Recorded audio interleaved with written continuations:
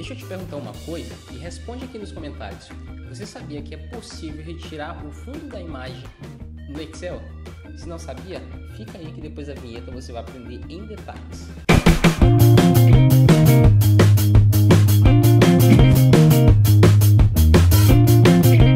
Olá pessoal, sejam todos mais uma vez muito bem-vindos a mais esta aula. Quem fala com vocês é Clédio Nascimento, do canal Ninja do Excel e do blog ninjadoexcel.com.br. Já se inscreva nesse canal para você aprender bastante sobre essa ferramenta incrível que é o Excel.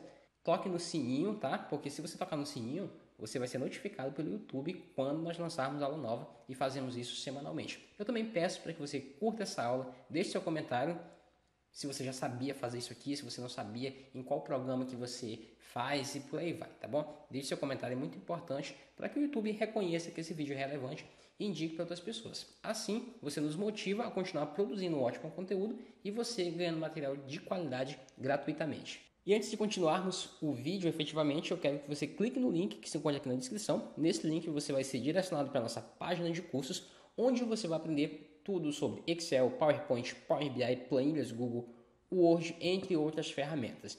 Então a gente tem preços bem legais, onde você tem, além do material e da didática incrível, material para você baixar e acompanhar juntamente com o professor, suporte às suas dúvidas, certificação no final, entre outras novidades que a gente está trazendo por aí. Então vamos lá, pessoal.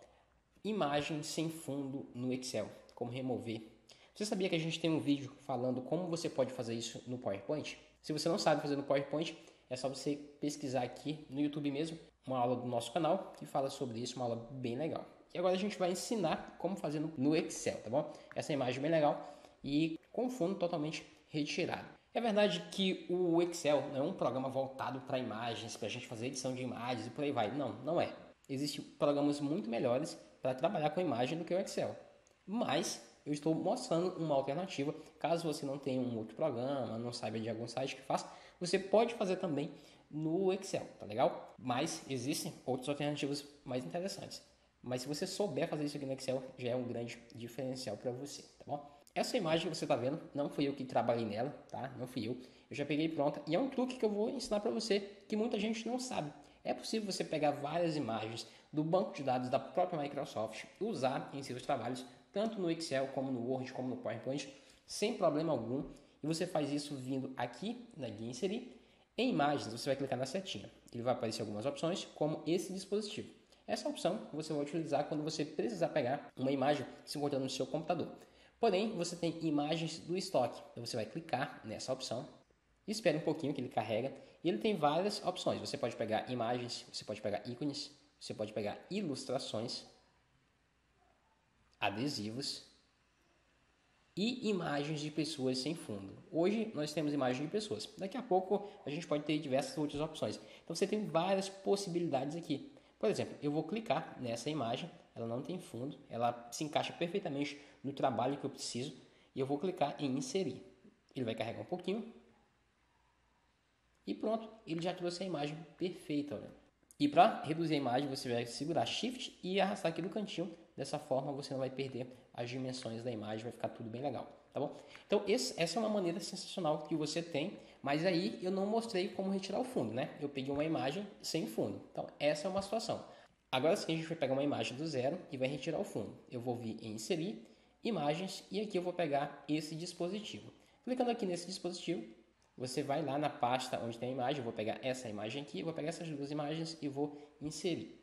Essas imagens eu peguei no site gratuito, o site FreePic. E vamos lá, eu vou trabalhar primeiro nessa imagem. Quando você tem uma imagem que tem um fundo neutro ou um fundo de uma cor só, como é o que a gente está vendo aqui, facilita bastante o nosso trabalho. Quando você clica na imagem, observe que ele aparece essa guia, formato da imagem. Nessa guia, entre as diversas opções que você tem para trabalhar com imagem aqui no Excel, você tem essa opção remover plano de fundo.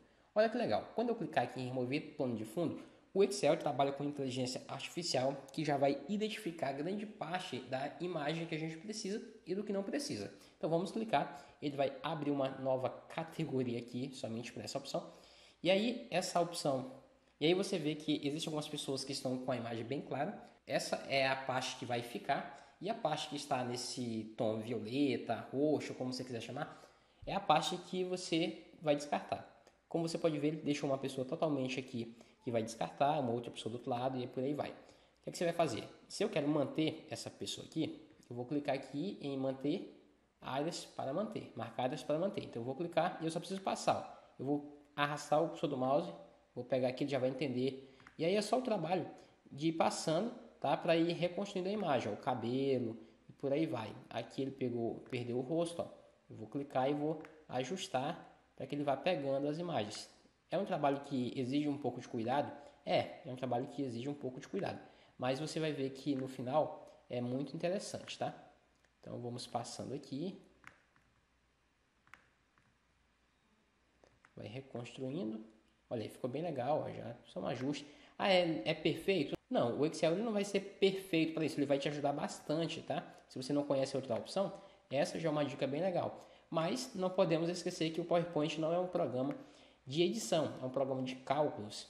Então vamos lá ajustando. Aí você vai ter esse trabalho né, de ajustar. Dependendo da imagem, algumas são mais simples, outras são mais difíceis. Então ficou bem legal. Agora, eu não preciso dessa parte aqui, próxima ao pescoço do cidadão. Então eu vou clicar aqui em remover áreas, marcar áreas para remover, e eu vou remover essa parte aqui, ó. Então cliquei, ele já vai remover. Tem que ter bastante cuidado, tá bom? Aí você vai tendo cuidado, vai aproximando a imagem e vai retirando o que não precisa, ó. Então observe que ficou bem legal. Eu vou só marcar aqui novamente algumas áreas para manter e vou marcar essa área aqui de baixo, ó, que eu não preciso. Então já ficou, ficou bem legal. Quando você finalizar, você retirar tudo, você pode clicar em descartar. Isso é, se você quiser descartar, mas eu acredito que se você chegou até aqui, você não vai querer descartar, né? Então você vai manter. Manter, aí olha o que acontece, ele retirou o fundo da imagem. Veja que ficou bem bacana, ficou muito bom.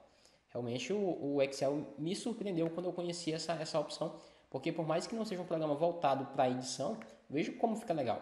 Tá? Então é um dos truques que você aprende aí, e você aprende bastante truques no nosso curso, então não deixe de clicar no link que está na descrição. Tá?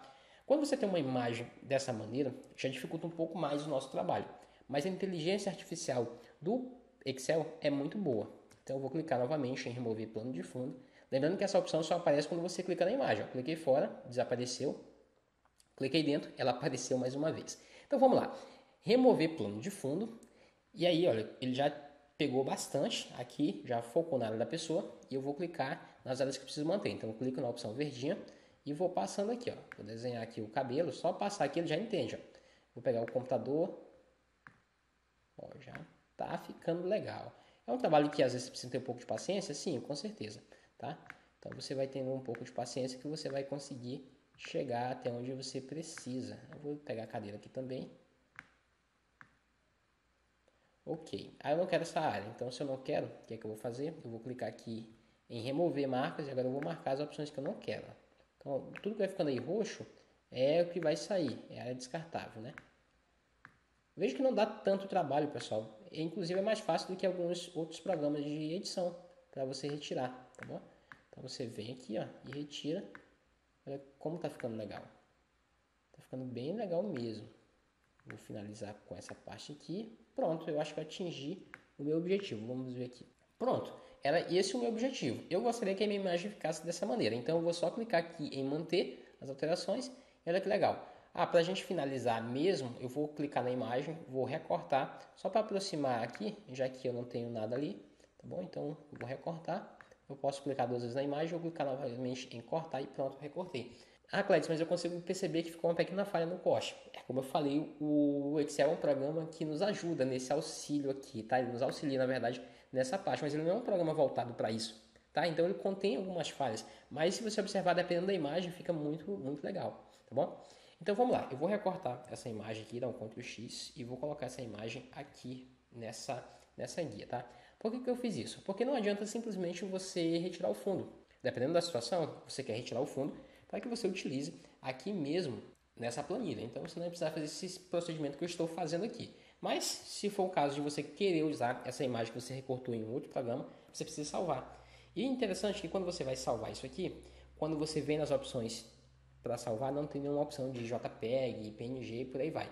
Mas a gente pode fazer o seguinte, vir aqui em arquivo, exportar. E em exportar, nós temos a opção de documento em PDF, que é muito legal. Então você pode levar essa imagem para outro programa em PDF, tá bom? Então você só precisa vir aqui, ó.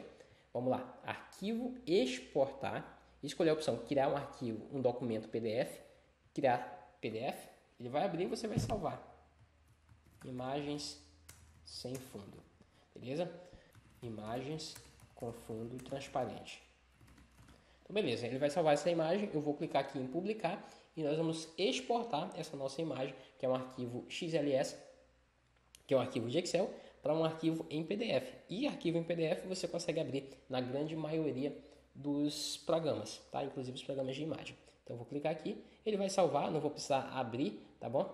Não vou precisar abrir, mas ele salvou em PDF e aí você vai poder utilizar essa imagem em diversos programas, tá bom? Tenha cuidado para que você não deixe como eu fiz aqui, no meu caso era só exemplo, tá? Para ele passar, para que ele não passe aqui da parte da, da, da, página, tá? Porque se ele passar conforme eu fiz, você vai conseguir salvar, mas em pedaços. Então, se você deixar dentro da área aqui de, de dentro da área de uma página, você vai ter a imagem por completo. Mas essa questão de organização, de impressão, você aprende tudo aí no curso, tá bom? Então é isso. Eu espero que vocês tenham gostado. Se vocês já sabiam como fazer isso aqui, é uma dica bem legal. É verdade que não é um programa voltado para edição de imagens, mas já ajuda bastante, como você viu. Fora outras opções de correção, de efeitos que você tem por aqui. É isso aí, pessoal. Muito obrigado. Clique no link, se inscreva no canal, deixe seu comentário. Um abraço e até mais.